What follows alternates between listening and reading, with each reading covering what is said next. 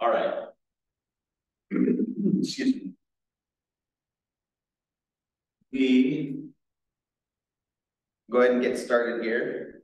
Um, I didn't finish putting grades to everybody's quizzes yet, but I, I glanced at them enough to look at everybody's questions to make sure we could address those. I got, I went down a little bit of a rabbit hole because the, I had plans for what periodic table we were gonna put in the new, in the new chem labs when they were done. And I realized this morning that it's no longer in print. And so, and I'm kind of picky about my periodic tables, as you may or may not know. Um, and so I was, went down a rabbit hole trying to find which one we're going to actually get next time. Um, and I'm open to suggestions. If you, if you have a particular favorite. Um, there used to be this really cool one, P-Table, the interactive one online, did this really cool one that looked like a really simple one you looked at it from, from afar um, in color, but when you got closer, the color shading in each box was a bunch of additional details like density and electronegativity. And so like it looked good from a long way away. You could see like the most important stuff like atomic mass and atomic number and stuff like that. And then when you got closer, you, there was even more details, um, which I really, I really liked that one, but I don't think they're making it anymore. Um, yeah, use P-table, Yeah, yeah, they're, it's pretty nice. It's, it's a really good PDF. They still have a really good PDF where you can pick and choose which layers are visible. It's probably, it's pretty good if you're offline. Um, and then obviously their online version is, is amazing. Um, but anyway, um, so question about multiple cyclic structures attached to each other. How would we name those? Um, that gets tricky because it depends on a little bit on what you what you mean. If if they're just attached like a branch, um, it's not so bad. For instance, you can have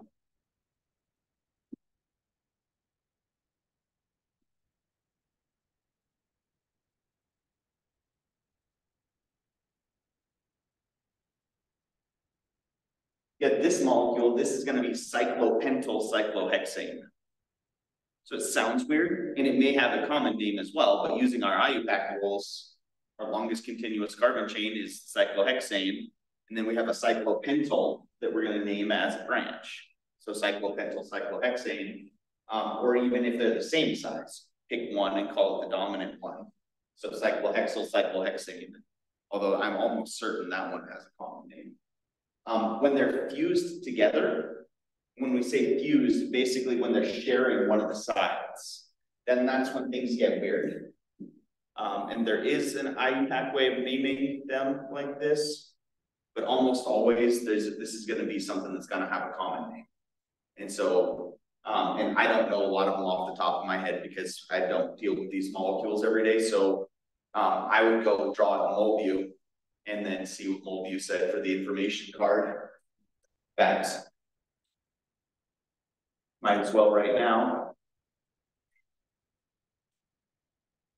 There are other um, alternatives in MolView as well. I just like MolView because it's it runs pretty well. It pulls up the 3D structures and it also pulls up the information cards pretty easily.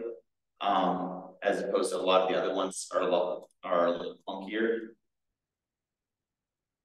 And so if we look at that and then just go over to tools and just pull up the information card. Hexahydroindin. It's an ortho-fused bicyclic hydrocarbon. Um, what's that? I got feeling right next. Yeah, so if you make if you do it out of out of aromatics, you're going to get something different. Um, and obviously, you know, caffeine is an example of fused uh, aromatic rings as well. Um, versus if we had, I think to do it. So there's not a standardized nomenclature for the fused. I, I, there is, but I don't think it's commonly used enough. Um, because every case winds up being a little bit different, and there's they're just they're frankly they're not that common outside of yeah. So that one is in fact cyclopentyl cyclohexane is the is the name for this structure, or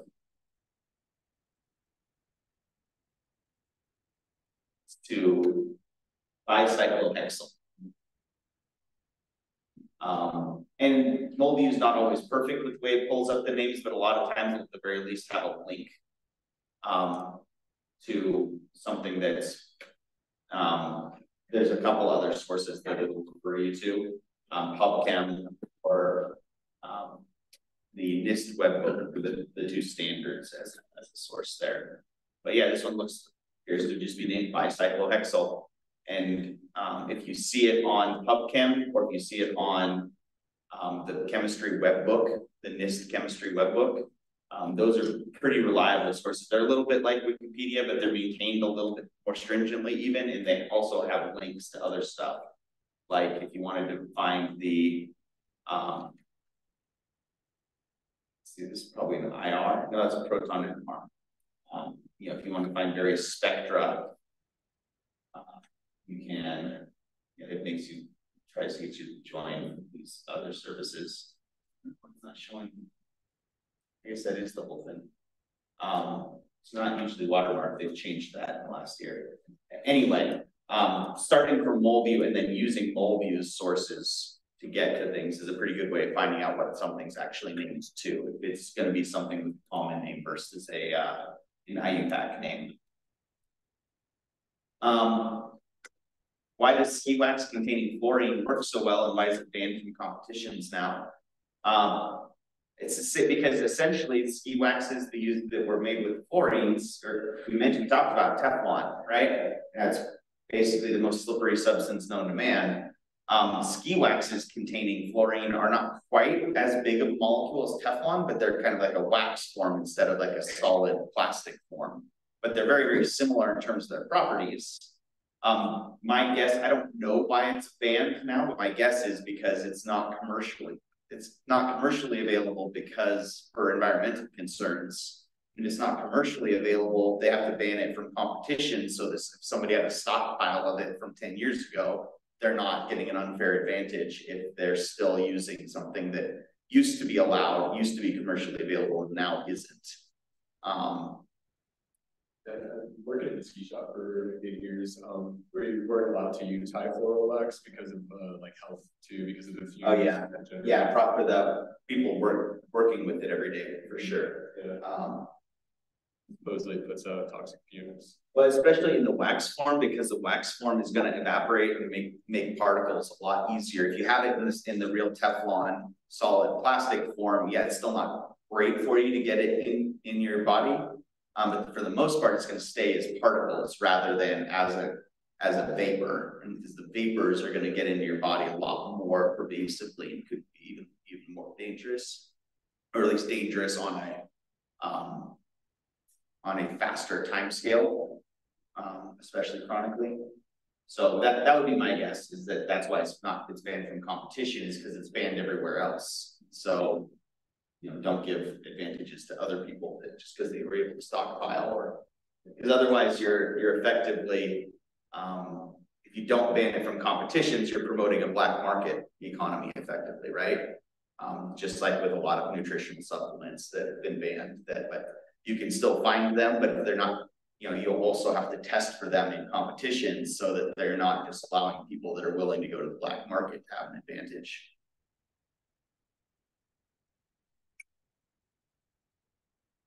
Chemicals, speaking of black markets, chemicals are kind of interesting because it's they actually form kind of what's called a, a gray market where stuff is not explicitly prohibited or you can get it internationally sometimes, but it's it's um, illegal in certain countries, but not other countries. And the way that the internet has worked mm-hmm. and the, the nature of chemicals in general and drugs in general um, means that you can sometimes you can you know right over the internet you can order things that that should be banned that are you know potentially more dangerous than stuff that's already banned um, but it's not illegal yet because all it takes is you know, changing a bromine to a fluorine and you get a drug with almost identical properties, but is not the same drug. So it's not illegal technically yet. Um, and so you wind up with a lot of, uh, oh, that's, if you've ever, the term was really big when I was in high school, designer drugs. A lot of times that's what those are, is you take, take cocaine and you replace one element or one atom with a different element and all of a sudden it's not cocaine, but it's something that'll still get you high. Um, and so there, that's what that term designer drugs or some, think now they're called research chemicals. Um, to make it seem like you're not doing anything sketchy, you're just ordering research chemicals. Um, but it's a lot of, a lot of stuff, like that's what bath salts are effectively. Um, if you've, and I'm sure everybody's heard the horror stories of, you know, Floridians on bath salts eating their neighbors and things like that. Um, does seem to be in Florida All right, how do Newman projections apply to cyclostructures? We're gonna do some of that today, but basically they're just a convenient way of showing some of these steric interactions. And so that you can see um, more obviously, or you can demonstrate, oh, well, this type of interaction is going to happen, which is going to be unfavorable or favorable. So they're they're convenient basically just as a way of emphasizing certain types of steric interactions. Um, and we will see some uh, examples in a couple minutes. Um, and do resonance structures apply? Well, I mean, the, all the resonance stuff still applies with, with Newman structures, but usually we're talking about different things.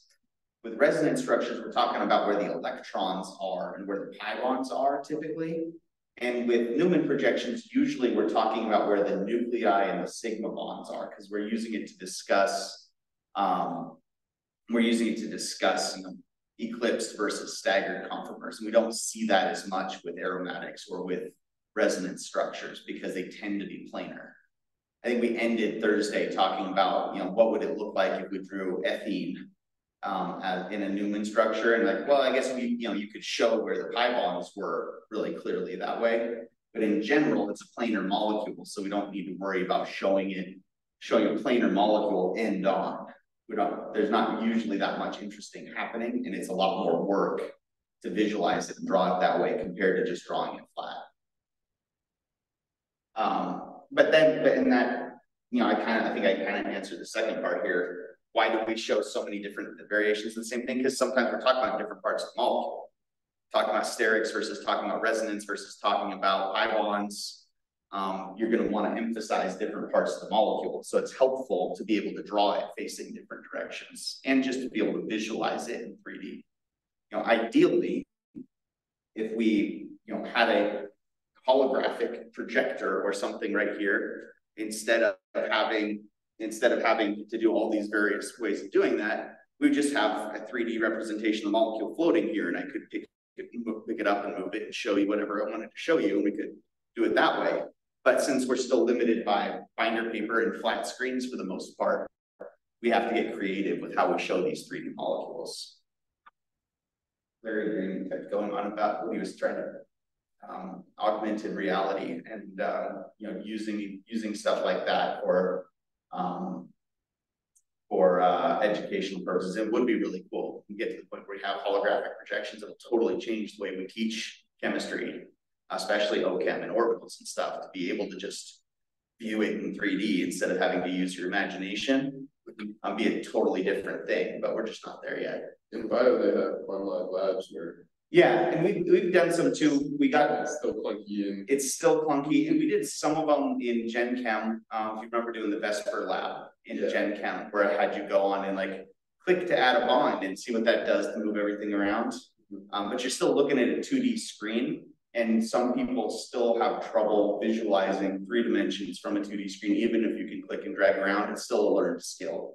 So being able to actually put it up in three D even if it's just, you know, a, a you know, hologram of it, um, would be really, really helpful, especially if everybody had a desk that they were sitting at that was capable of doing their own holograms. Um, is it uh, Ender's Game? Ender's Game, that um, old sci-fi book from the from the eighties. Um, they all have their uh, the kids have a desk, which is like a tablet, but it's a tablet that projects in 3D in front of them. Um, you know, so they were thinking about this all the way back in the eighties. Um, and we'll get there eventually. We're not far from it. It's just still really expensive right now. um, Google Glasses, that's what, so augmented reality is one way to get around that. If everybody has Google Glasses or something similar on, that can project a three-dimensional shape in front of you, in front of your eye, rather than, um, rather than having to, to do it on the screen. Um, your brain just processes that differently. And, and, um, what's the other, thing? the VR. VR, there's done some really interesting studies about VR and how your brain processes it not as watching something, but actually as participating in it. Um, which is really scary as a, as a parent and like video games and stuff like that. Like I hate to be the, I love video games, but apparently there's actually some neuro, um, some neuroscience research um, suggesting that you have to be very, very careful with VR because your brain interprets it as actual experience. So playing a, you know, a shooter, you can give yourself PTSD and, and things like that. And, um, which is really good for things like therapy. They've done a lot of studies with like aversion therapy where somebody who's afraid of heights, they have them put on a VR headset and then walk to the edge of the Empire State Building and look down. Their body processes it as though they were actually there. Um, so there's some interesting therapeutic techniques and some educational techniques. Um, but also potentially it could be really, really, we have no idea what that's going to do to people's, to kids' brains 50 years from now um, if they spend a whole bunch of time in VR doing that right now, shooting things.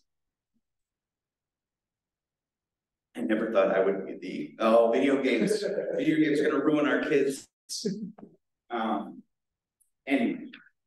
And then last question, this goes back, I said something on Thursday, I said the torsion strain is different than steric strain.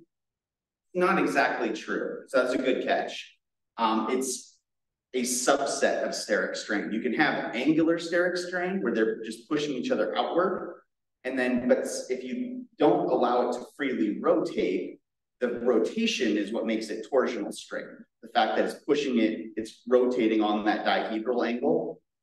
That's why we call it torsional strain.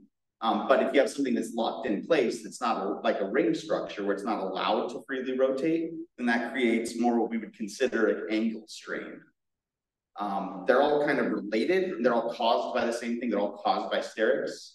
It's just a different way of, of a different, not application, um, outcome, a different outcome. If it's allowed to rotate, you get that torsional force versus just tweaking things.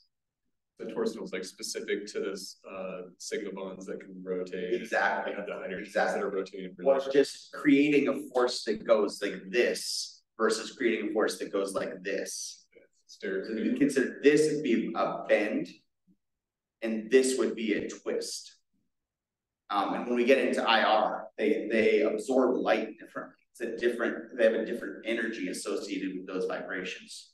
Twists versus bends versus stretches are all going to be caused partly by sterics or entirely by sterics, but they're going to have a different net result you can think about it that way. So it would be like a torsion bar versus a strut versus an airbag suspension. Because torsion bars have that twisting force to keep you up. The stretching from the airbags is what. Is Maybe. I you think more of it like just traditional um, shocks. Shocks. Uh, so typically a stretch, we usually think of that, we can represent that as just being a spring between the two nuclei. Gotcha. So more just like a traditional suspension versus um, if you if you do have some suspension that allows for that twisting. Yeah. Um, it might just be reusing the same term though, torsional versus because I guess we're talking about two different things, right? Torsional suspension is talking about the whole frame sort of rotating versus just one wheel moving up and down, right? I think it's the, I have torsion bars in my truck, which Uh-huh. are big bars that come from the back of the frame and twist up and you can adjust the twisting motion to lift up the truck or put it down. So those, it's similar, yeah. Yes, it's similar. We're gonna use the terms a little bit differently in, because when we're talking about the molecule bending and stretching, Right. twisting, um, but it's gonna be pretty similar, um, logic. Yeah. Um, how'd the quiz go? Anybody have any trouble? Just like I said, I didn't give final grades, but it looked like the first few, everybody did, did pretty well. Um, the autocorrected stuff anyway. Uh, the top one's pretty, pretty easy to see. You've got two methyl groups attached to carbon three versus two methyl groups attached to carbon two, makes it an isomer. And here, in this bottom one. And if we can. Find the same longest continuous carbon chain. One, two, three, four, five, six, seven, and this is seven as well. We've got methyl on carbon two and a methyl on carbon four, so that looks the same, and an ethyl on carbon three. So same molecule, different conformer. Just drawn differently or twisted around differently. And That's generally speaking, that's gonna be the, my go-to technique for figuring this out is basically go through the process like you're gonna name it. And if you wind up with the same name twice, following our standard rules, then it's, it's gonna be a conformer, it's the same molecule. Um, any issues with the naming? Not after graded. Not after you saw the answers, right? Um. Yeah, just make sure you're keeping your numbers as low as possible ideally. Um. But for the most part, I think everybody's got a handle on that, so I'm not gonna spend. Um, too much time on that. Was this one tricky at all? I mean, no more than any of the other Newman projection ones, right? Just at first, once you get the hang of it. Yeah, you're gonna have a chlorine up into the right and a bromine up into the left and a methyl group down on the front carbon. On the back carbon, it's gonna be a chlorine down into the right and a bromine down into the left and a methyl group straight up. And it just had you draw it, right? Or did it have you also identify lowest energy? Okay, I think it just had you draw it, yeah. There Um, but then for just- there was an identifying, uh, highest and lowest energy levels. There wasn't one of those, right? There was. Oh, there was one, one, okay. not this, Okay, um, but then just for the sake of drawing this. You'll notice that. It doesn't really matter for the front carbon if we draw the, draw it as a. As a Y shape versus drawing it the other way around, it doesn't really matter, right? Draw it how it's convenient, how it's drawn over here, you're not stuck. Having to, you know, it doesn't need to be as a Y shape versus a inverted Y. Um, which of these is going to be the biggest group? Sterically.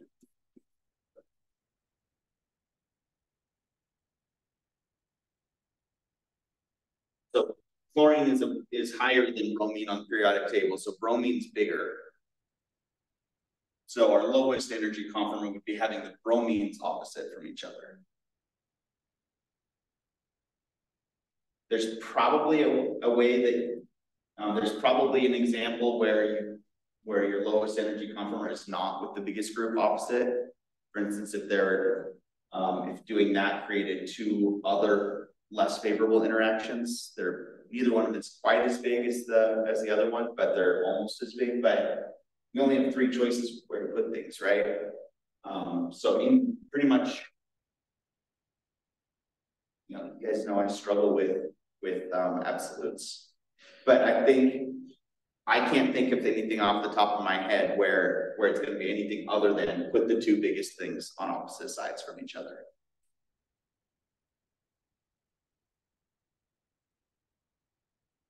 Question would be, um, what if there's two, two, like two bromines instead of on? Right, yeah, okay, that's a good point. So if you had two of them. uh, Then no matter what, one of the bromines has to be eclipsed and the other bromine is gonna be gauche, or, or sorry, one of the bromines is gonna be anti and the other one's gonna be gauche. Which, so then it's a matter of. What is that third group? And how do we minimize interactions between that third group? And, whatever's on the other carbon. Right, so it's. It's kind of nice, you only have three options, so worst case scenario, draw all three of them, and look, pick the one that looks best. Right?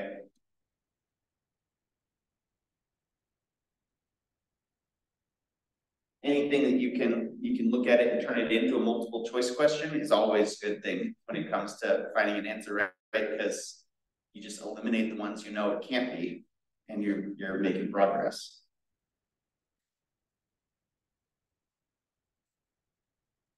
All right.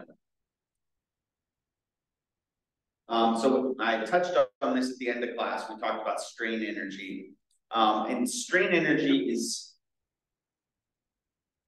It, it has its own specific term, mostly because it's stuck there. So a lot of the torsional strain that we've been talking about, the rotational strain in sterics, if you're freely allowed to rotate, it's not really trapped energy. Um, but a molecule that has these sigma bonds that are in this, where the sigma bond is forcing things to be closer than they want to be, then that kind of is its, is its own thing because that molecule keeps that energy contained within it until you're allowed to actually break those bonds. So it's a little bit different than just rotational energy and rotational sterics. Um, which, but it also means you can make molecules that are really, really unstable, that have a ton of strain energy that will release it all at once sometimes. Um, for instance, my, my OChem professor did some work in the, I'd say it was in the eighties at the time, um, that he was doing his, research for the Defense Department on uh, novel explosives. Um, what molecules could we make that might be better explosives? Um, and he and his his research group created a molecule that they call bowtieine.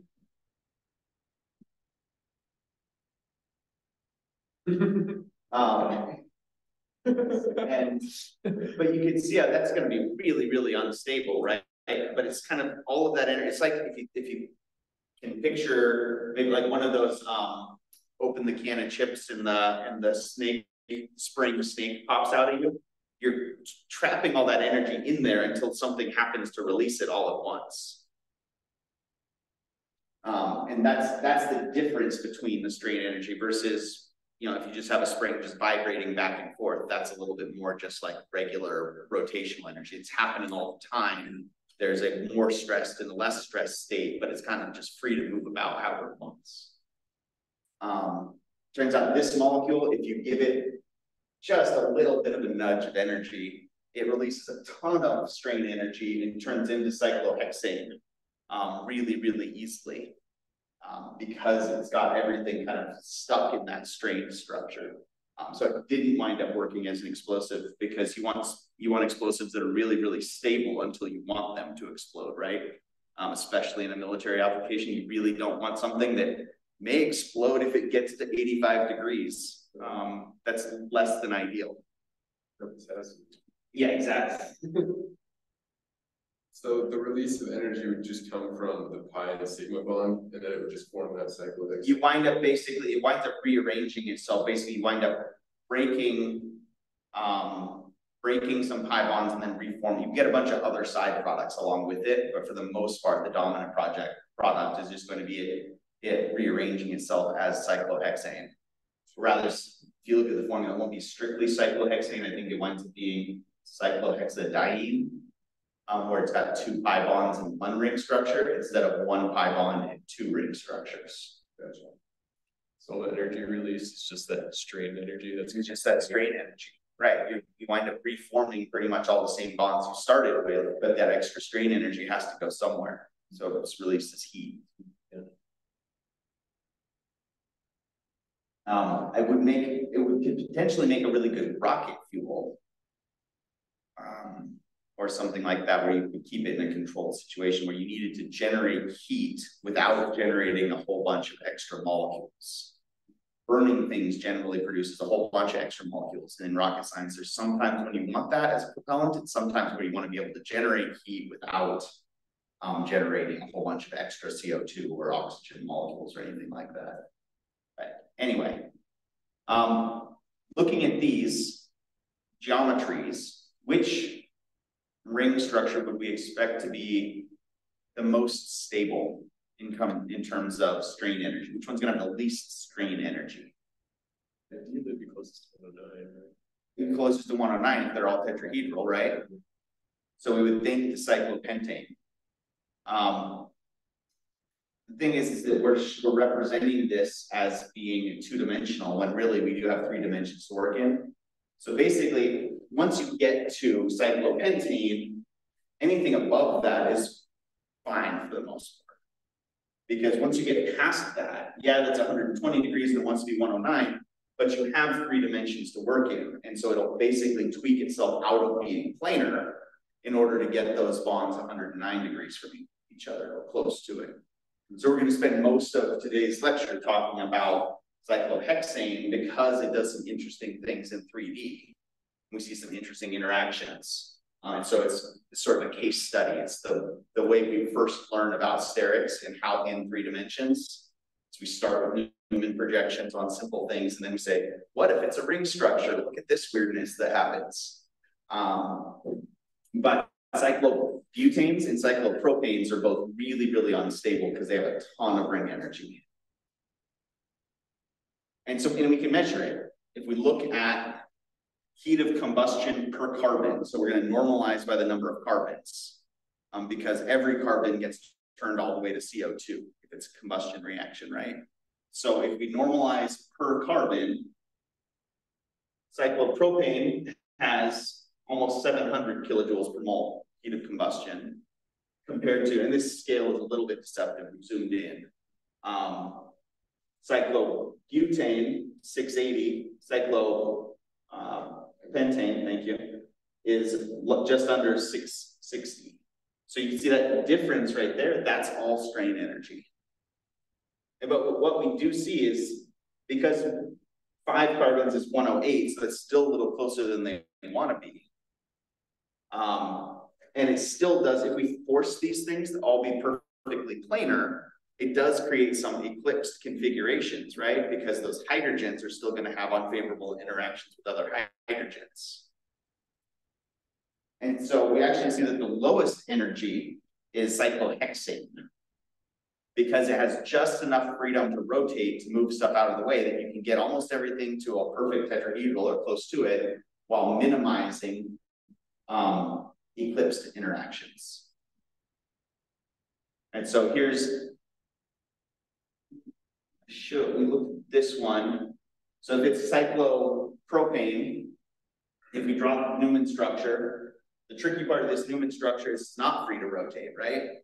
So effectively, you're stuck with this carbon-carbon bond, and this carbon-carbon bond almost have to be eclipsed because it's a triangle, right? So by definition, they three carbons have to be in plane with each other, right? If three carbons are, have to be in a plane with each other, that means that these hydrogens are going to wind up being eclipsed with each other as well. So we're stuck in that eclipsed configuration. And I think that I threw this up um, the other day as a way to, to look at how we have less overlap, overlap between the bonds as well. Basically, in a, in a in order to try and keep these electron clouds as far away from each other as possible, as close to 109 as possible, they wind up sort of tweaking the bond so that they're holding on but barely.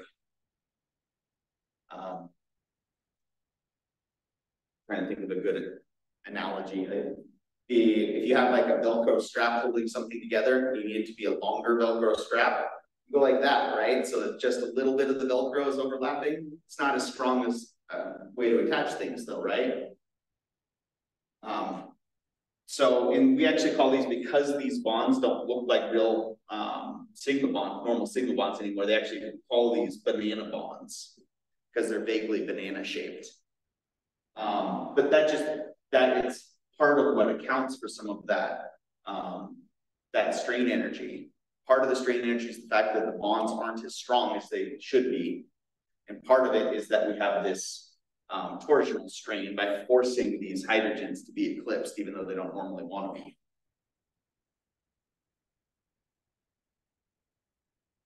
Um, we see that a little bit, a fair bit less in cyclobutane. But what we'll see is basically that torsional strain kind of forces it to not be a true, a true square. It's not a two-dimensional shape. If it was a two-dimensional square, then everything would be perfectly 90 degrees, right? And then you would have all your hydrogens over here. But if we looked at that from a Newman projection, we'd have the same issue. If it was perfectly straight or perfectly flat, then we're locking our hydrogens into being these eclipse configuration. Bending it a little bit. Yeah, it's not ideal because we force these bonds closer together than ninety degrees or eighty-eight degrees rather than ninety degrees. But that's still better because it allows these hydrogens to not be totally eclipsed and allows these carbons not be totally eclipsed. If we look at the Newman projection here, let's just say we were looking down that bond. See if I can do this. We're gonna have a hydrogen straight down, up and up and to the right is another hydrogen. And then up and to the left is going to be our carbon. And then on the back carbon, that allows us to have this carbon be sort of not all the way down and to the left. But those are the ones that are then connected to each other. Right, and so then that on the back carbon, then we were able to have hydrogen be a little bit less eclipsed. It gets really tricky to visualize to turn this to that, right? It's, this is a, a step above from what we've, we've been doing. Um, and then you're gonna have a, but every single carbon-carbon bond is gonna have a similar Newman projection. They're all gonna be more or less identical. But that's why that puckered shape kind of exists. Yes, it makes these bonds 88 instead of 90, but it means these hydrogens don't have to be perfectly eclipsed. So it's a balance. You're balancing the torsional strain energy versus the bond angle strain energy to try and minimize both of them. Um, and they refer to that as being a puckered shape. Um, I don't quite know where, where that comes from. Dimpled would work as well. It's basically, picture taking a square and pulling one corner of the square up a little bit. Keep three of the corners of the square in flat and you just pull up one corner of the square. And so you, you could picture that being a piece of paper, right? You're trying to, to identify what that shape looks like. Is it like kind of like a saddle sort of? Or? It also winds up, if you change your frame of reference, yeah, it does wind up looking a little bit of, like a saddle. You have these two carbons are up above and these two carbons, the front and back carbons down. So you wind up with something where, like this, where every one, you know, my pointer and my thumb are each a carbon. Um, I find it a little bit easier to picture it as carbon, carbon, carbon, and then up. You picture these three being flat on a surface, and then the fourth one out. Because three points will always define a plane, right? By mathematical definitions. And pick any three points, it's a plane. So if you picture these three as being flat, this one is just tilted upward. Gotcha.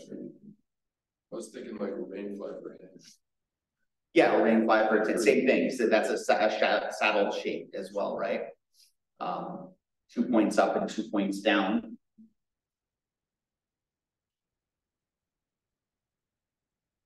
So cyclopentane, you see how these start getting a lot more complicated as we start adding more carbons. Three carbons, it has to be flat because it's only three points, right? Four carbons, we can allow it to dimple, pucker a little bit. We see the same thing really though with um, with five carbons. You up with four of them more or less in the same plane, and then a fifth one kind of popped up. Um, turns out that all four of these are not. It's really like if you picture these three as being flat, this one's popped up and this one's popped down. Because that allows us to minimize those eclipsed interactions a little bit more. Um, which is part of the reason cyclopentane is more stable than cyclobutane is because we have one more degree of freedom to avoid having everything be eclipsed.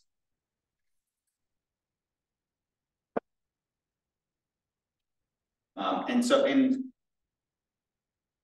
This one, now we're getting to the point where, where drawing a Newman projection. Might be helpful to illustrate some things, but not to see the, the shape of it overall, because now we. We drew a Newman projection looking down this bond, now we have three carbons attached to each other off to the side, so yeah, we could, we could show that they're not eclipsed by doing that. But then what's really interesting about this molecule is the overall shape of the carbons, not looking at any one individual carbon-carbon bond.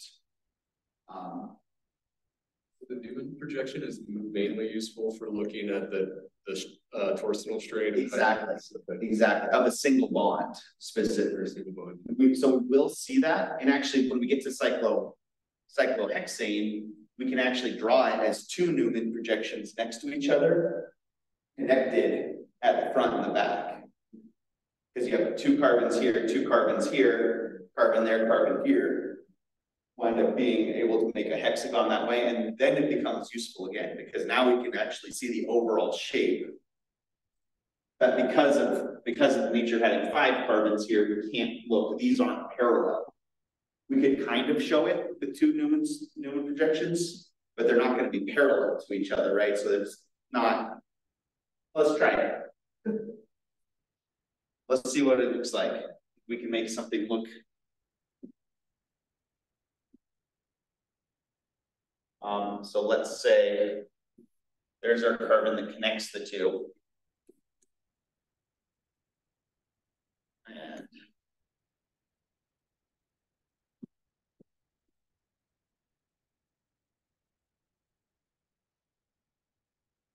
Then on the back carbons.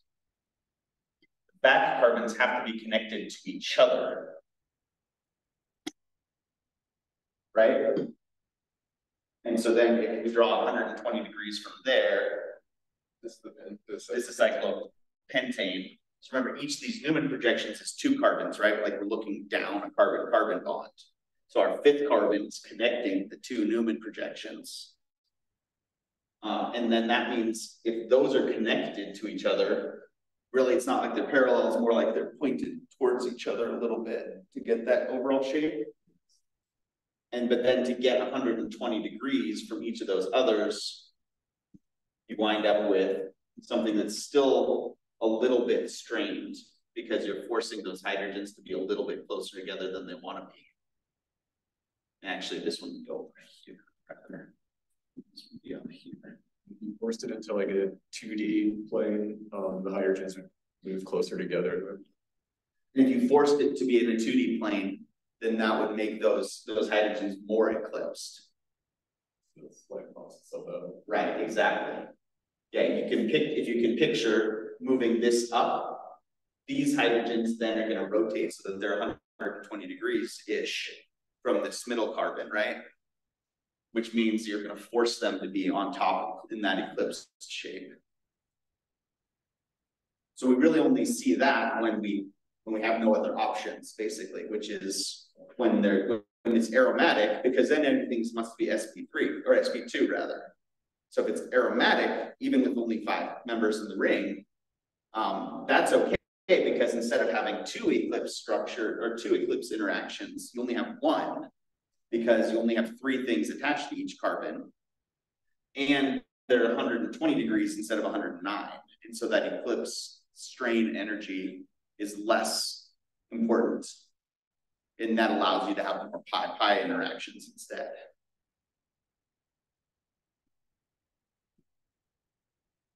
All right, And the would just be like placing that blue line was. With, instead of a blue line, you get another carbon, carbon back there, so that gives you a lot more ability to rotate things around, right? And get it so that those angles are even further apart. So there's a, there is one Newman projection in the rest of the molecule. So if we look down that line, there you see that they're, they're not sixty full degrees from each other, so there's still some of that interaction where they're kind of forced to be there. But by popping that, that front carbon up and that back carbon down, that allows you to, to minimize that a little bit. Right, so if we were defining a plane, Yeah, is that, that might make more sense. If we say that the plane that we're defining is these two carbons and this one. Then, you get the carbon in front sticking up above the plane and the carbon in back down below. Lets you, lets you move stuff around a little bit more. But, yeah, it's just, it, yes, it winds up being sort of weird. And, and if- again, if you use your imagination and kind of think spatially, think about what this structure is trying to show you. It's more or less flat with the end point that's pointed towards you, sticking up a little bit. You take that and just rotate it so that you're looking down that bond. Yeah, pretty easy to see with a little bit of practice, that that's the same shape, just drawn a little slightly differently to emphasize those, those um, axial interactions. So when you drew two Newman projections that just block down that other side, so you can really show the up and down. Right, and I, you couldn't really show the up and down, and you couldn't really show, and it, it wasn't strictly accurate, because when you draw the two Newman projections, it makes it look like this bond and this bond were parallel to each other. Yeah. And they're not. But I wasn't gonna try and freehand that other one. All right, so let's talk about cyclohexane. Because now we do have the ability to make those two opposite sides parallel to each other, at least pretty close to. Uh, and so we can see what that looks like. Basically, cyclohexane is the most stable of these ring structures because it has just enough um, degrees of freedom that it can make pretty much everything into a um, staggered conformation and still be close to one oh nine. Right, because if it was a flat structure, um, think about taking this one they call the boat, boat one, if you picture rotating these end carbons downward so that it was flat. You can say, okay, well, that, I, I see where it's a hexagon now, and, and it would normally be, if you forced it to be flat, they'd be hundred and twenty degrees from each other, which is too far now. So in this case, allowing it to rotate up out of the plane allows those two bonds to be closer to each other.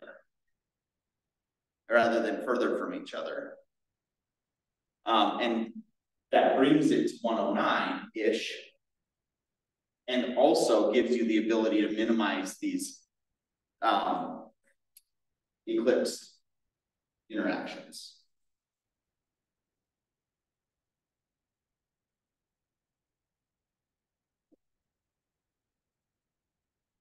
All right, so just just looking at it as it's drawn here, which of these would we expect to be more stable? Don't overthink it. Chair. Why? You said don't overthink it, so I I still, I still wanted it to be somewhat rather than just, but you're right, it's the chair. oh. It's just, they're more staggered. The hydrogens, more, and even, even ignoring the hydrogens. These carbons are just further apart from each other, right? And it looks like that angle is kind of tighter in there. Yeah, and, and you do wind up, we'll see it more when we get to things other than hydrogens attached here. But I'm overemphasizing the bonds now. But if you, these hydrogens are sort of pointed towards each other. If you put it into a chair conformation, right? So we're actually creating like axial, or not axial, we're, we're kind of creating, um, steric torsion where we don't need there to be, by, from carbons on opposite ends of the ring, instead of being carbons that are directly next to each other, by forcing these hydrogens to point towards each other. So versus the chair gets kind of everything pointed further away from each other.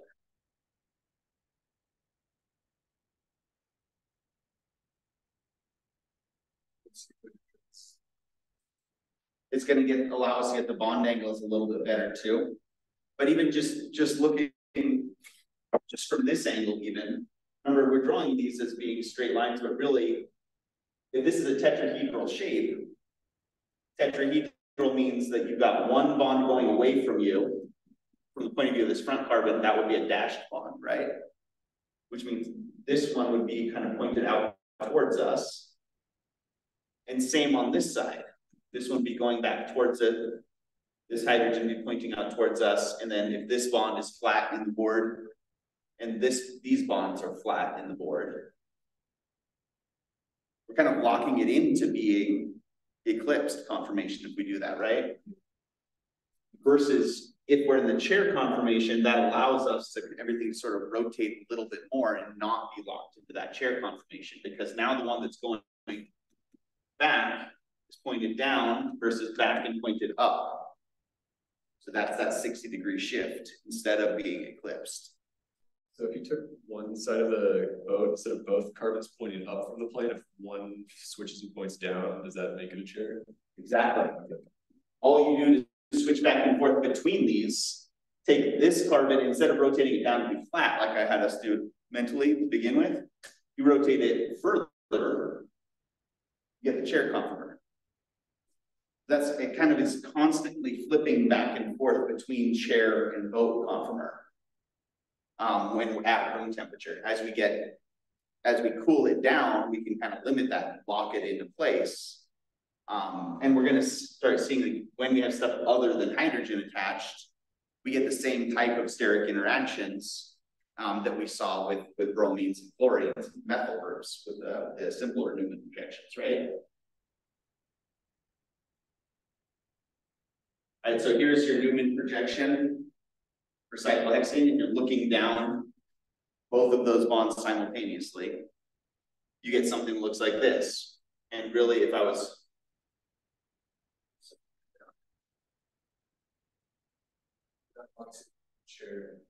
This is the chair conformation. Is there any way to draw the as a new projection? It would just be with this one up, so it'd be kind of on top of that back one.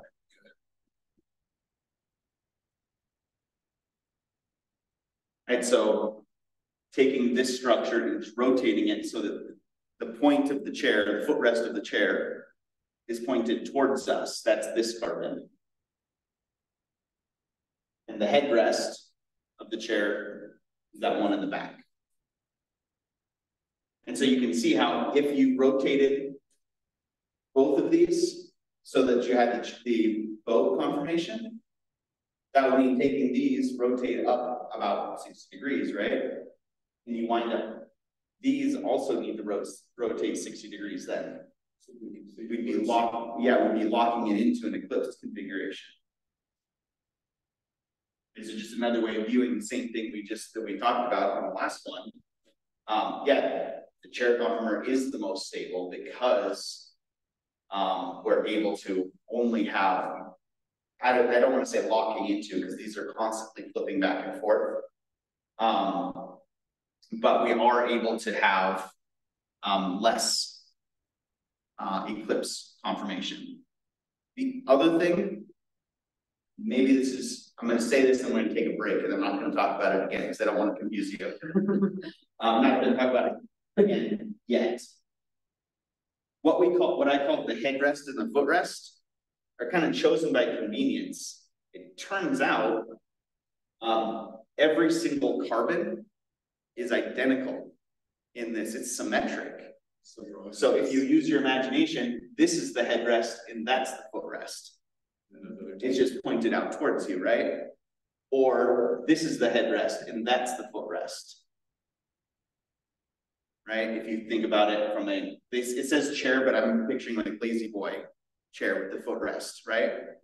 Um, or a, a pool, poolside chair potentially. Um, so they're all identical for the most part when it's in the chair confirmation and when it's in the boat confirmation. It's drawn so that you have, you know, four that are flat, one up and one up. But you could, if you shifted your, your point of view, and this one's a little bit harder to visualize. Um, but you can make this carbon and this carbon the points of the boat. And these ones being the, ones that are more or less parallel to each other. They're not, they're not drawn that way. That's a lot harder to visualize. But all, it's this, it's a very similar situation, unless we have another substituent other than hydrogen attached somewhere. All of the carbons are pretty much identical. It's just really hard to see with the boat structure. Both have never seen. Right, so for the most part, we're going to, we're, we're gonna draw it in a way that is, um. Convenient to us. The other thing, it's one of those, once you see it, you're gonna never be able to unsee it. Is.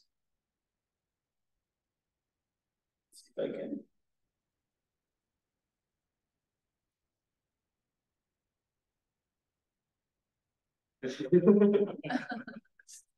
The Budweiser logo, I'm not sure if they're still using this one, um, basic is that same exact shape. You just erase the hydrogens and write Budweiser across it, you get the Budweiser logo. Um, and I have no idea, I think it's supposed to look like a bow tie, that's why Budweiser went with it. Um, but I can't look at it without seeing cyclohexane. So anyway, let's take a break, let's come back at ten after and we're gonna get some practice drawing these.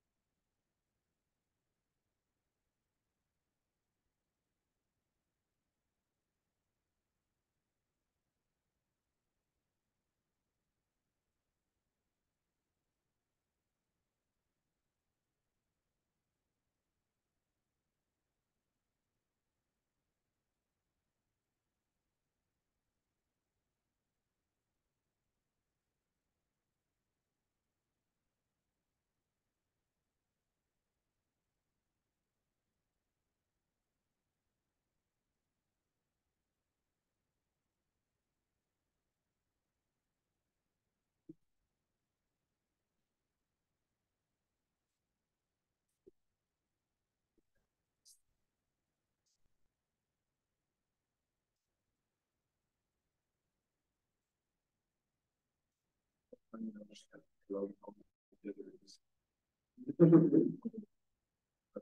this look right to you?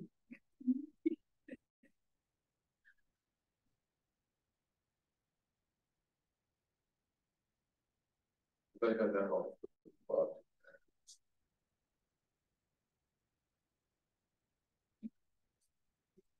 You finished it. You finished the lab? Yeah, You might wanna ask him. how does that look? There's something wrong in there.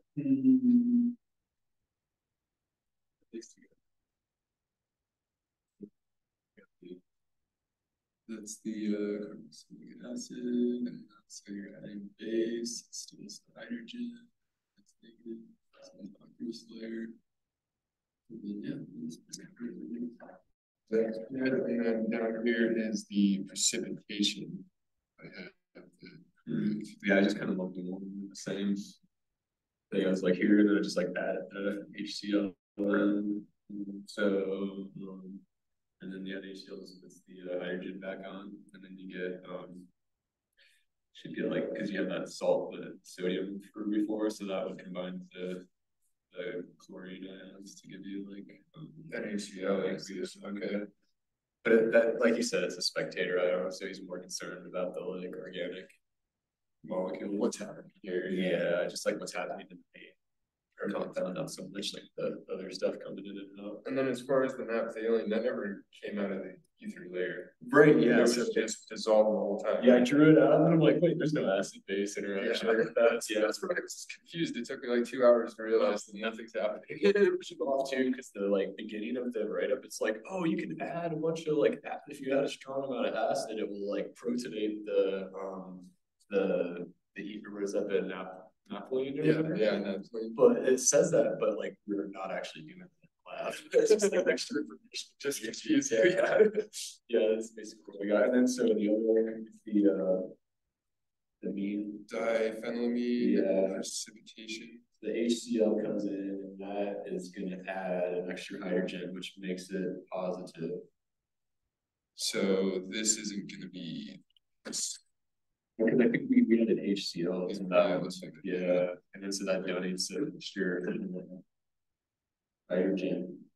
And then because right here, the nitrogen has three bonds, which it wants to have, and then you're forced to have and share an extra one, one that's lone pairs with an extra hydrogen, so that makes it like positive. Because it's got like sharing four. Yeah, And that's what we're seeing up here. because the extra hydrogen is still is, um, it's uh extra electrons that makes it positive, yeah. Yeah, this is, I just didn't put the positive. Yeah, But that, it's just small. yeah. Yeah, I think it's helpful put the positive so you can see like how it becomes polar and stuff, but Changing. oh no, they- you're getting fancy though, yeah. Yeah, I was just of you to, to, to try to visualize all of it. Yeah, it's sort of, Kind of a lot. especially now things are getting three D. And I said to draw it and I can't, this you can, so let the computer do it. Thanks, Rob. Yeah, it's always good to like confer. Yeah. Like, okay. So then um, on the product side of this reaction here, then we just have H3O instead of, um, okay, so that one, yeah, you removed it. Um, so I think it's gonna be OH that's gonna take that back and then make H2O because um, this is when it's Oculus, and they said to remove it to precipitate it. I think we added um, an AOH. Yeah, that's that's what we had. And so that's gonna and so that's that disassociates that OH ion. It's gonna accept that extra hydrogen.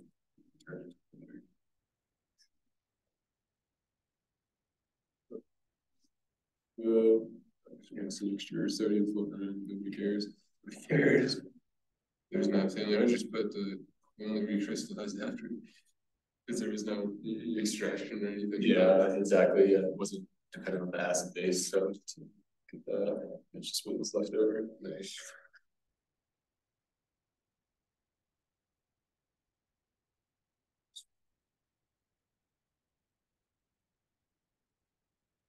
Sorry to bug you while you're eating. Also, I'll just, I'll point out as well that, um. I'm using a lot of figures from, from the textbook that we used in the class last year. Um, but there's very similar figures in, in, um, the OpenStax book. This, this looks really similar to what we were just talking about, right? Um, and it's all in the same order, more or less, so. For, if you look at chapter three, chapter three is all uh, is all about Newman projections and um, how to, how to draw them and showing those front carbons and back carbons. So just like we were, we are looking at a lot of the same figures, right?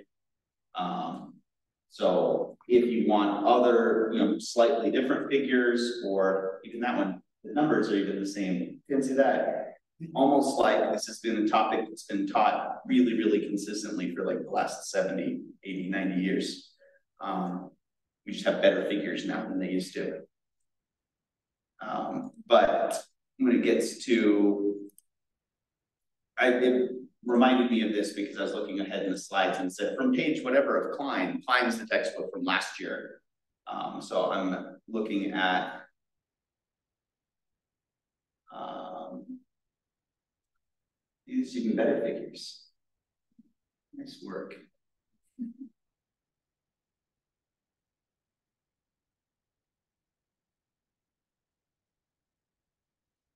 Here's the process for drawing cyclo cyclohexanes as a as a ring structure, and that's on page 114 of of uh, the McMurry book. Check that real quick.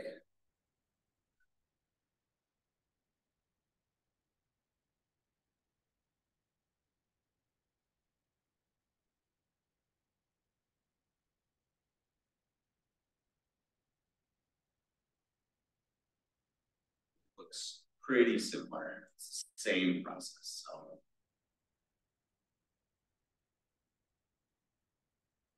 All right. Um, the next slide was just same thing we kind of talked about already.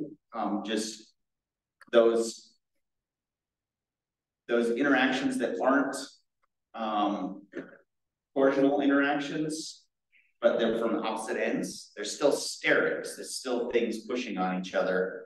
Um, but the term that's used is flagpole interactions. I mean, picture those hydrogens as being flagpoles. They're sort of pointed towards each other. And you can think of them kind of like pushing against each other. Um, it's not the best way of visualizing things, but that's the term that's used. So we'll go with it. But same thing we were just we were just talking about. If you look at here's our Newman, our dual Newman projection of the chair conformer. And here's it drawn facing towards us horizontally so that you can emphasize these interactions and wanted to draw the hydrogens, that's from this front carbon versus ah, hesitated too long. There. That's on the back carbon. It's coming out towards us. You know, the front carbon is going back towards the middle, right? So that's that flagpole interaction. You see why they don't bother showing that normally? Because from this angle, it's really hard to make that make any sense on a 2D shape. Um, the other the other resource that I will point you towards for being able to see these in 3D is one, you can build your own. We have model kits, um, and I'll get them out so that, so that everybody can um, build structure. You can check out a model kit, or you can they're I think they're under 20 bucks on Amazon for your own um, to be able to build these. But there's also this is a resource that we use a lot in Gen Chem for crystal structures. Um, ChemTube3D is run by a university, University of Nottingham, I think, um, someplace in UK. Um, but they have, you go under organic, they have they have a whole thing on. Oh, they added a lot on here. We're just going to use the search bar. Cyclohexane conformers.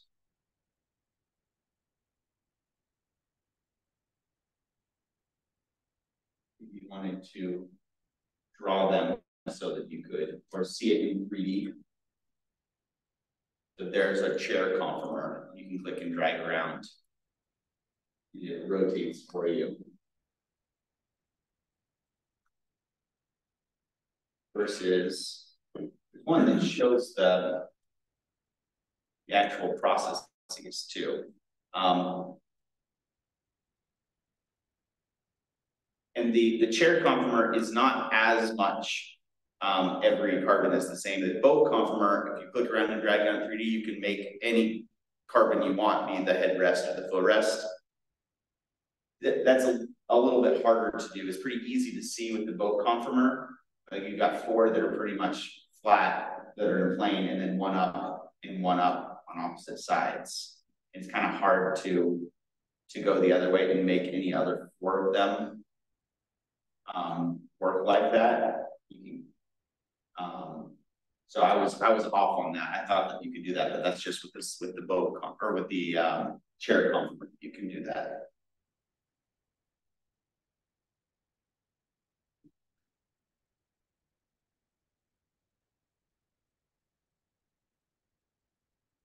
The, uh, animations.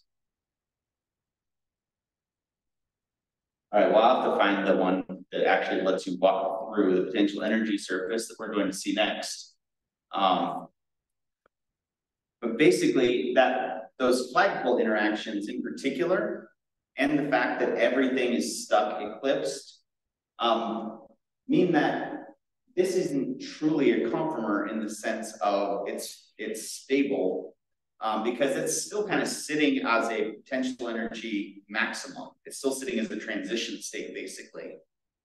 Because all it would take to throw things off, if you picture these, and I, again, redraw ones that I don't like drawing, sticking straight up towards each other.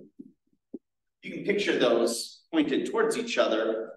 All it takes to get things a little bit lower in energy, so my elbows are the, the points the carbons are the points, my hands are the hydrogens. If you just do that, now all of a sudden they're not pointed directly towards each other. That tweaks everything just enough that you can have them not be perfectly eclipsed. So what we actually see is that the boat conformer is actually a transition state. Because you have those things and a flat pointed right towards each other, if you twist it just a little bit, you get what they call the twist boat. We're not going to bother drawing the twist boat as a different conformer usually. Um, but it's not perfectly flat like, like the boat structure with these carbons perfectly in line with each other. These two carbons and these two hydrogens wind up sort of shifting just a little bit. Um, while still showing the same overall shape, and that's what we call that twist boat.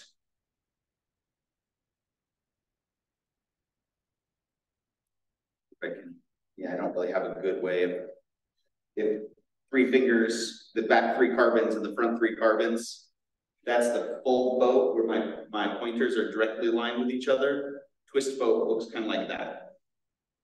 One of the four that were flat with each other, one goes up and one goes down on each side versus that sort of switch back and forth between that. The boat is when everything is perfectly aligned and symmetrical and pretty and easy to draw. The twist boat is how it actually behaves. Um, and really, what's most important is being able to draw the chair conformers, because most of the time these things are going to spend their time in the chair um, conformers, because those are so much more stable. If you look at the difference in energy, it's 23 kilojoules per mole. Um, and if you remember the equation for equilibrium constants, equilibrium constant was equal to E to the negative delta G over RT, right?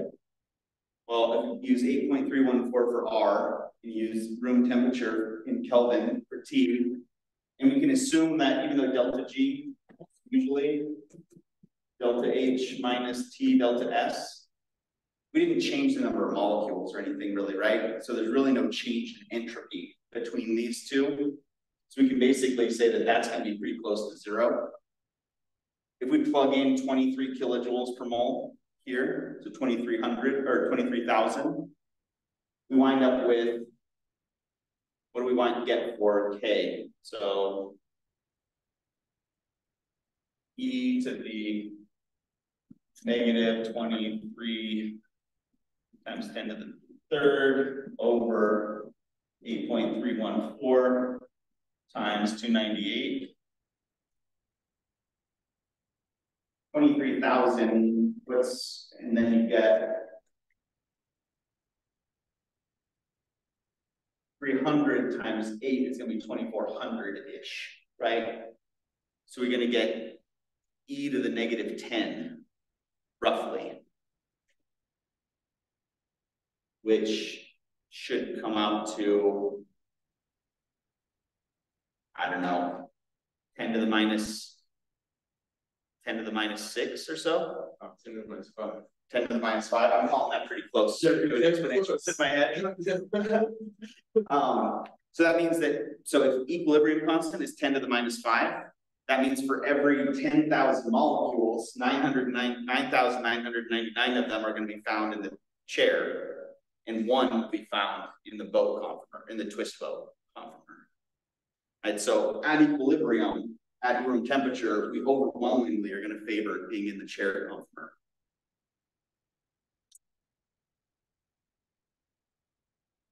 Pretty impressive stuff. It's what is, and it's, it really drives home the difference. That's not even that small of an equilibrium constant, right? The effect of, of temperature in these, these calculated energies. Um, winds up being really pretty significant because of that exponential term. Um, like I've, I've brought up many times, the, doing computational chemistry, we kind of had a rule of thumb for whether a reaction will happen in a reasonable amount of time, it's somewhat arbitrary, but it was about twenty kcals per mole, which winds up being, you know, eighty to hundred kilojoules per mole as a, as an activation energy is something that you could say that the reaction will happen at room temperature. So having twenty-three kilojoules per mole as your reaction energy with a forty-five kilojoule per mole barrier means that it's gonna be at equilibrium at room temperature, which means you're gonna favor those chair conformers pretty strongly. Would anything stand before? Uh. Narrow out the wavelength of this as far as changing of the. numbers? Well, when you talk about from left to right, talk about the x-axis, this graph, it's somewhat arbitrary. It's just chosen so that it can, you can see things, but it can still fit on a page of paper. So this isn't Um, relativity to time, it's just. No. Exactly, exactly. Um, the y-axis, the energy is to scale, or should be in the, in these graphs, normally speaking. Um, but yeah, the reaction progress is however you need to define it to show what you want to show. So the other thing I'll point out here is that when it goes from the chair to the boat, it kind of goes, um, it can go through this intermediate, they call the half chair, which is where, you know, you flip the footrest up, the headrest is still where it was.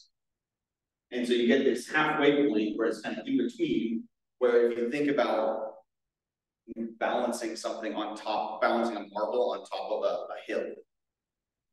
It could roll either direction from it, right? This is a transition state where either way it goes, it's gonna become more stable. Just like the, the boat, when you had those flagpole interactions pointed right towards each other, it was at a trans- transition state. Um, but it, so it kind of goes in two steps. You flip up um, the footrest and all the way up to get to that twist bow. But then you can actually keep going and take what was the headrest and flip that down so that you still wind up with a chair, but you wind up with your carbons sort of in opposite directions from where they were. And that's going to become important in a minute when we start putting a substituent on one of these.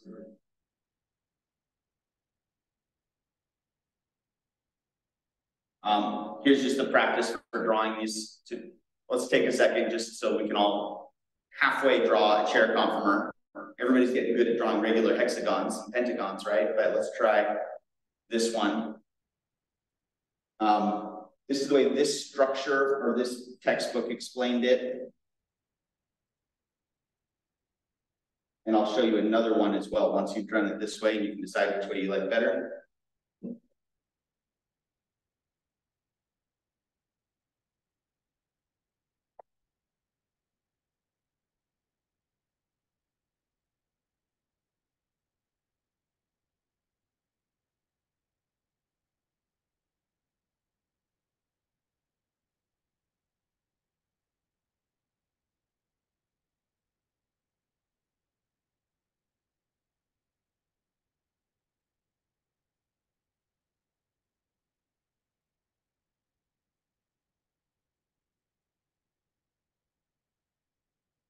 The trick with this is to try and draw it as much as you can with the opposite sides of your hexagon of your chair conformer still being parallel as much as possible. Um, if you can do that, then whatever, however you draw it, it's gonna be pretty close to a chair conformer. Um, they obviously can't all be perfectly parallel to each other, or you can't wind up drawing um, everything connected properly. But the way that I have always drawn it is start with the two armrests. You just draw two parallel arm uh, lines that are offset just a little bit. It should be roughly the same length, but if you're gonna make one a little bit longer, make the bottom one, because that's gonna be the carbon that's pointed out towards us. And then you just wind up connecting the two armrests by drawing, by drawing a quick upside down V and a V. It's the same thing, just sort of rotated so that the, they're horizontal, but yeah, you can offset that if you don't want them horizontal. I've always found it easier to start with those parallel armrests and then just connect them with a V. Um, sometimes wind up with structures that don't look quite as good, but everybody knows you're, that we're dealing with chair conformers, then that's usually close enough. Um, and that also means it's pretty easy to draw a boat conformer as well, right? You just make the, you don't offset them as much. If you're drawing boat conformer, draw two parallel lines, the bottom one centered and the top one and a little bit bigger. And connect them the same way.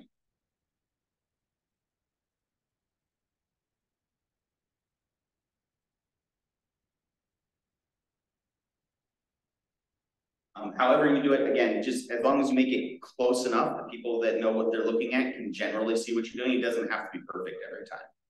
I don't get all paranoid about drawing a hexagon every time I draw a benzene ring, right? I don't make my hexagon perfect. I just need to make it close enough that everybody can see what I'm trying to draw, just like a letter for that matter. Your, your letter A doesn't need to be perfect, it just needs to be good enough that it's legible. All right, so here's where it gets the formatting's a little off here. Um, where we're gonna bring in some of these other concepts, um.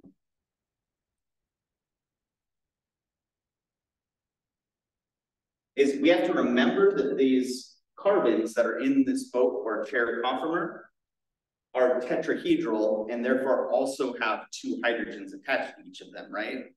We haven't been drawing those, um, but they're in general, they're going to have one of two directions. They're either going to be pointed in what we call the axial direction, which means more or less up and down relative to the plane of, of the um, hexagon. And if you think about this as being like the equator, that's it's really similar to a globe. You just have to use your imagination because it's not a sphere. But if you think about having a axis of rotation that goes right through the middle of the ring, where it's going to rotate around, then axial means it's point it's pointed parallel to that that rotation, and equatorial means it's pointed away from, uh, roughly perpendicular to that angle of rotation. So, and it, it, works a little bit better if you think about it as being, when it's in its totally flat, unrealistic.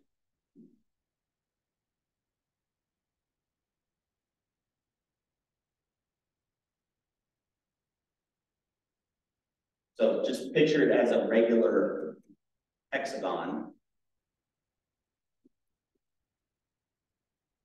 Point flat like this, if the if the hexagon is the equator on the globe, then the axis of rotation is the North Pole and the South Pole.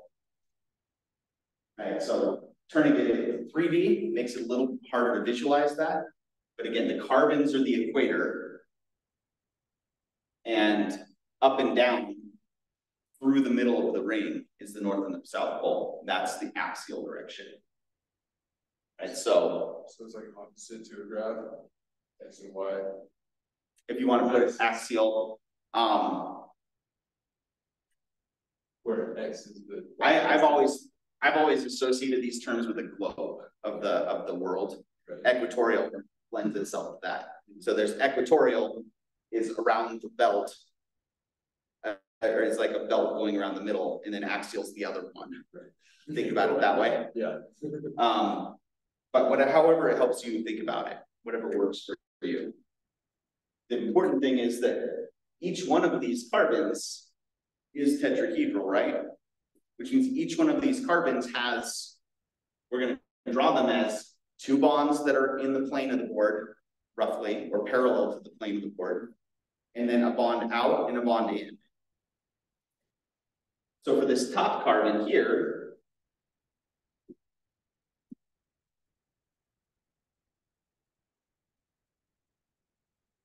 The bond in is the bond going to that back carbon. The bond out is the wedge coming to this front carbon, which means the two hydrogens have to be in the plane of the board. Right, it's a tetrahedral structure, and so one of them, and remember that they have to be roughly hundred and twenty degrees from the bonds that go out and in, right? The bonds that go out and in are always roughly pointed in the same direction, and then hundred and twenty degrees from tho- those are the two bonds that are in the plane of the board.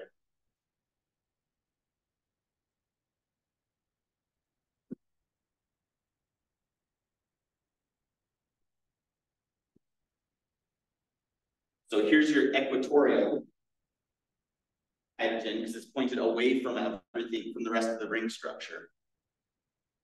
And your axial hydrogen is the one that's pointed up and down. It's perpendicular to the plane of the molecule. It's kind of pointed towards everything else, right? Versus away from everything else. Every single one of these carbons has the two positions that aren't drawn when we just draw the skeletal structure. One of them is axial and one of them is equatorial, because they're all gonna be roughly, I mean, they're close to hundred and nine degrees from, from each other. But round that to ninety for the sake of, of turning everything into nice neat angles. They're close to perpendicular to each other, right? So if they're close to perpendicular to each other, one of them is gonna be pointed with everything else, and one's pointed away from everything else. And away from everything else is the equatorial. So axles like the meridian, say? Yeah, exactly. Go with, with the globe analogy. Yeah. Um, Cause I'm kind of nuts. yeah, so if we're drawing the axial versus the equatorial for the others, for the same, same process. Of the two bonds that are shown, figure out if one's away from you, towards you, or flat. And then figure out what the remaining two places are. So for this carbon in the front. One of the bonds is going into the board, right? Which means there's another one coming out of the board. In roughly the same direction, right? That's the axial. No, I've messed up my color coding. I'm gonna stick to black. From drawing them and then I'll circle them in the right colors. So got one and kind of wanna draw it so that it's not totally overlapping, but it's more or less pointed in the same direction as that bond going into the board. And then that means that if this is our bond going back, this is our bond coming forward, our last two have to be flat, right? So there's a flat one. The other one that's flat is basically straight down. So out of those, which one is going up and down and which one's going around the equator? First one said was the equatorial or Yeah. So there's our axial. And here's our equatorial.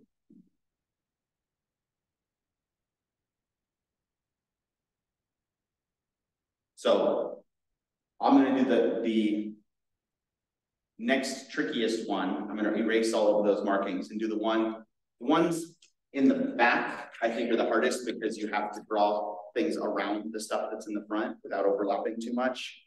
Um, so I'm going to do that one and then I'll let you, you all work on the last three to see if you can um, make it all make sense, practice doing this a little bit. So for this back one, from the point of view of this rear carbon. The headrest carbon is coming towards us, right? And then this one is flat. There's another one going away from us. That's roughly the same angle as the, the wedge coming towards us. And then, so then where's our last one going to be? Yeah, and I'm trying to draw it as a, so that it's not overlapping with this line. The bond wouldn't be that long. I should really look at what I'm writing when I write it, so it looks better. Um, so which of those is axial? The one that's pointing downward is axial.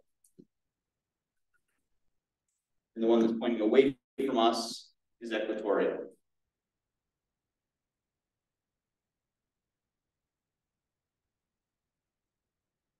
Would it be similar logic for the other? Yeah, same exact logic. Identify the bonds that are drawn. Are they flat? Are they into towards you or are they away from you relative to that carbon? And then place the two remaining bonds to make that carbon tetrahedral. And then one, it should be relatively obvious, once you do that, if you did it right, one of them should stand out as being axial. And pretty much, axial is usually the easier one to identify, because axial is always gonna be straight up and down. Up or down, rather, right? And the one that's drawn into the board or out of the board is gonna be your equatorial.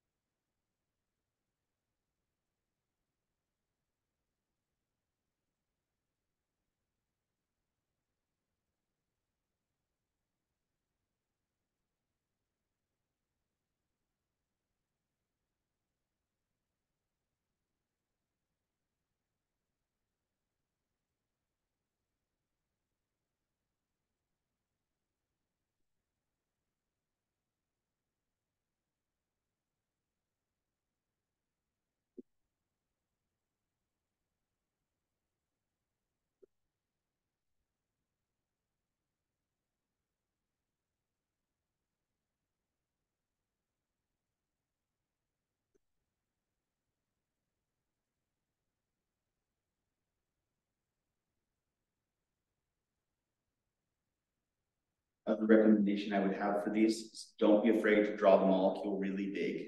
Give yourself space because trying to draw things too cramped, for me at least, always winds up in me mixing things up.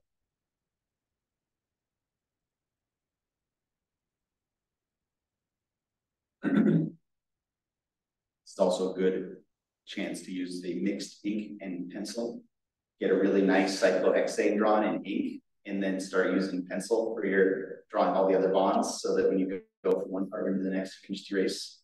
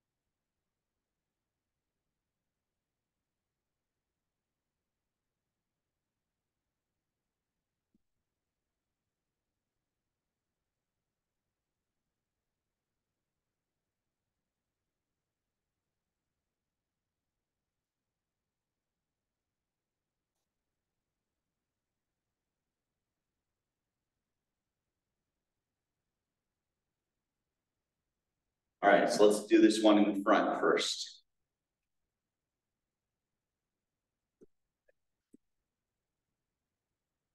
So from the point of view of this front molecule. This, the footrest is going into the port, right? Which means there's another one in generally the same direction pointing towards us. Carbon to carbon armrest is flat. Our last flat one is going the opposite direction from those. And again, it's more of hundred and twenty, but for the sake of making everything look neat and making clear what's the axial, um, you can wind up drawing it straight up and down, so you can see what's what. It's, the important thing is it's pointed in the opposite direction from the other flat bond and from the two into the board and out. So which one's axial, which one's equatorial? Yeah. Top one's axial, Sticking out. and equatorial sticking out.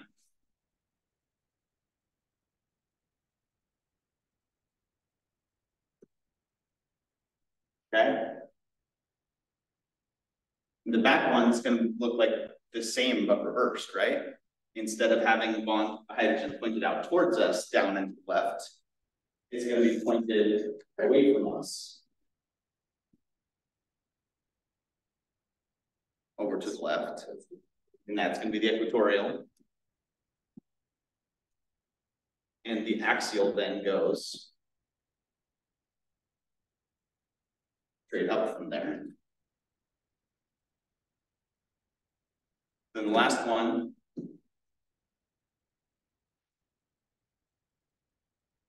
You've got a bond coming towards us and a bond going away from us.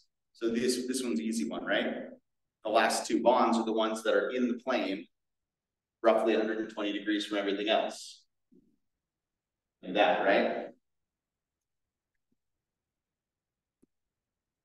Which one's axial, which one's equatorial? Bottom one's axial. This one's equatorial.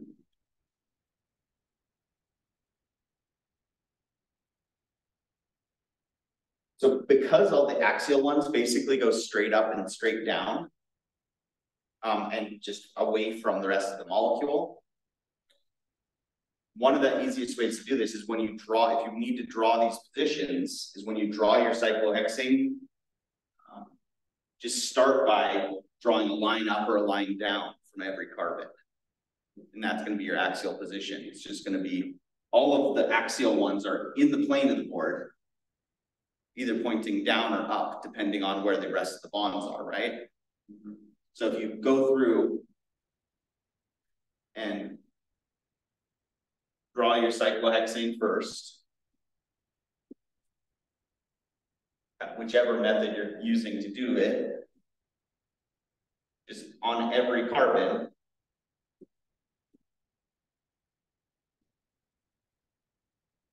draw a vertical line pointed away from the rest of the bonds. Those are all your axials. And the equatorial goes in whatever direction's left.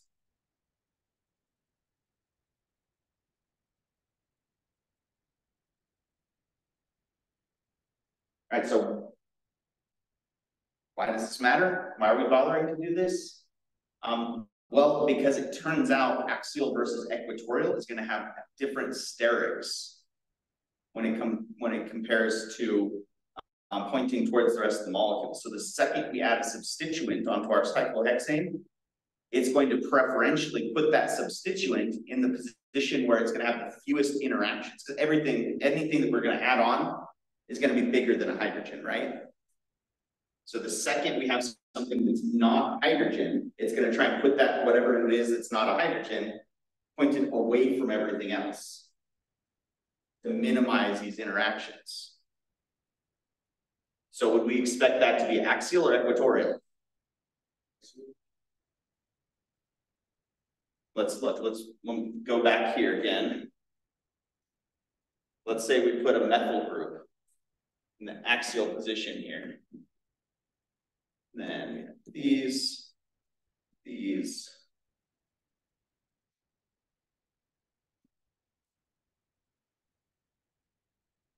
if you put it in the axial position, it's kind of far away from these other hydrogens, but they're still kind of in the same direction, right?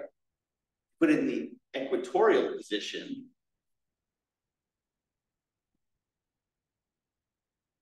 Then the other equatorial carbons, or uh, the other equatorial positions are all pointed away from it.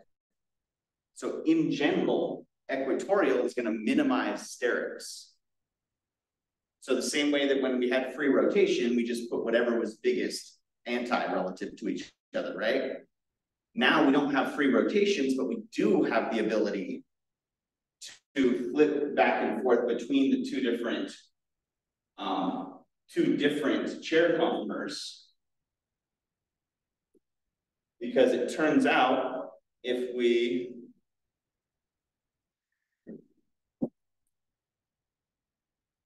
if we start with the methyl group in axial, if we go through that, they call it a chair flip, um, which sounds like a you know WWE move or something like that. Um, skateboarding term maybe. Um, if you do a chair flip, if you take this, the headrest, and you put it down, and then you take this and pop it up, everything that was axial becomes equatorial. And everything that was equatorial becomes axial. Because picture doing this rotation, taking this, flipping it downward, now all of a sudden, instead of it pointing up and down, you wind up with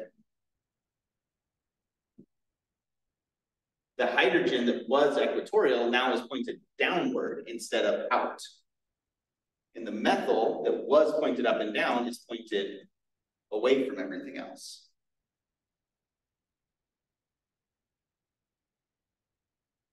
Right, and so that means that when we draw, when we're drawing these molecules, we actually actually have three conformers. There's chair conformer, there's the boat conformer, and then there's the other chair conformer as long as everything we're talking about is just hydrogen, then both the chair conformers are the same.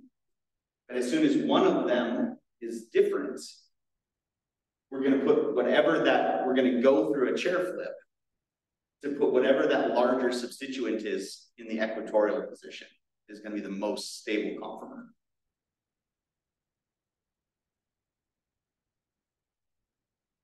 So let's try it. I just drew you both chair conformers for, for methyl cyclohexane. Now, y'all try it for bromocyclohexane.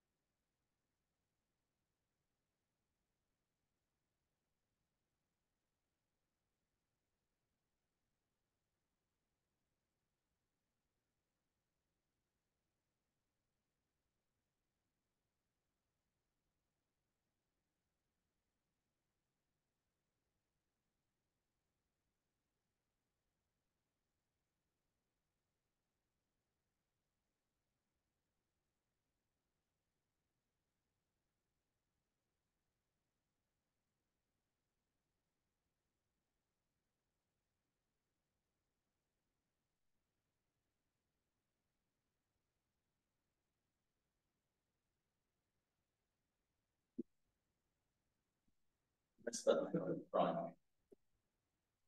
Start over since it's easy to erase with this.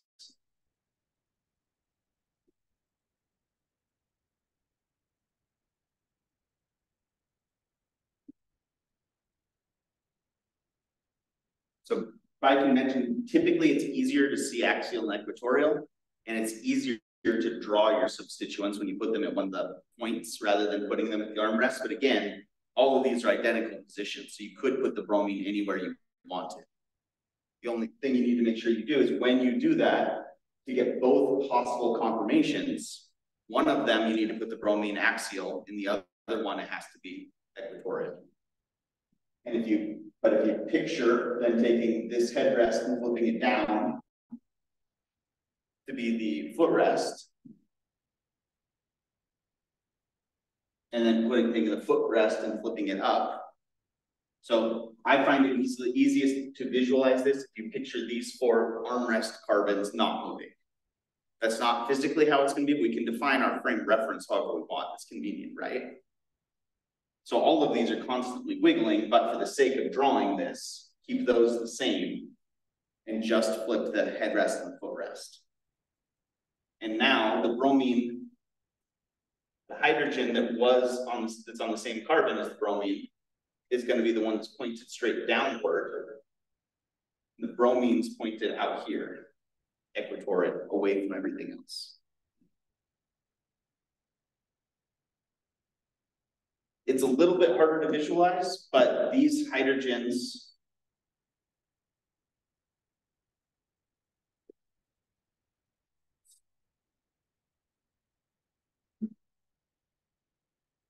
Wind up um, flipping between axial and equatorial as well. Because when this, when the headrest flips downward, now all of a sudden. These ones basically kind of flip up a little bit like an umbrella flipping inside out. Like by forcing part of the molecule to go down, these ones trying to stay away from it rotate as well. Right, so it was, the blue one is my um pointer finger and the red one's my thumb. When you put the headrest down, these ones do that. Which means, again, these positions also flip axial. Everything flips axial equatorial when you do a chair flip. Not just the end positions, those are just the easiest to visualize and draw. Would it be a different isomer if the bromine was, like the chair didn't flip and the bromine was just the equatorial position? Is that a different isomer? Not until we add another substituent. Because it's just a different conformer of the same bromine. Because if you, you can picture taking this, this molecule, if you take this version and you flip it like a pancake, you can still put these four armrest carbons in the same spot, right? Now you've got the bromine and what we would arbitrarily call the headrest, but now equatorial. So it's still just a conformer. It's not until we add something else to the ring structure that we have to define that we, we defined both sides of the ring. They're either the same side of the ring or opposite sides of the ring. And that's when you start seeing those, um, called cis versus trans. Trans meaning across, cis meaning the same.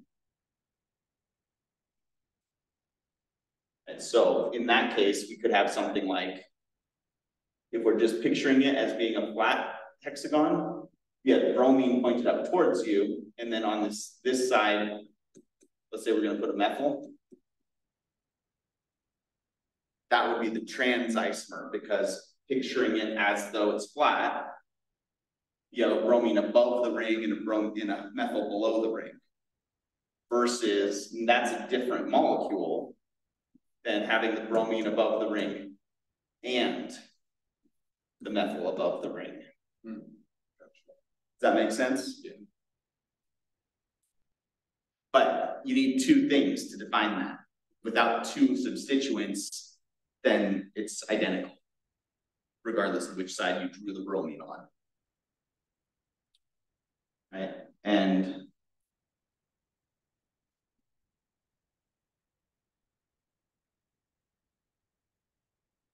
This is just, I just wanted to put this up there just to show um, and define this term.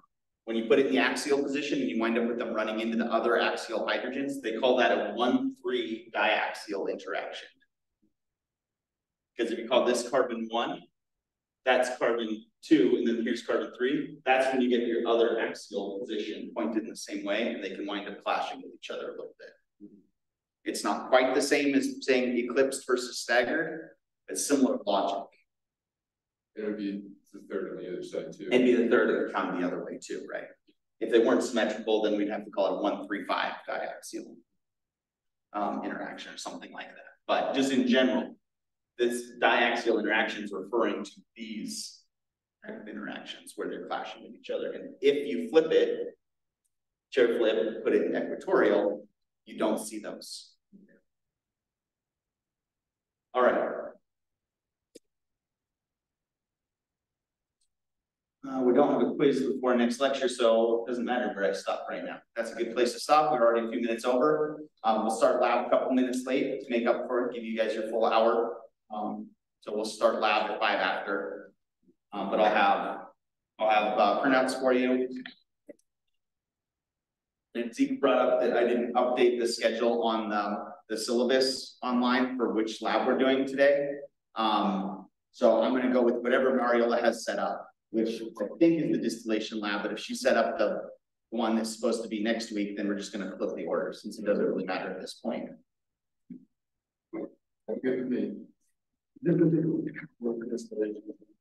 Yeah, I, I think either way, if you're gonna wind up doing a distillation, usually we do the distillation one first, but. Um, it might just mean that I do a little more demonstrating if we have it out of order. Sounds like a nasty lab. If it's, it's a little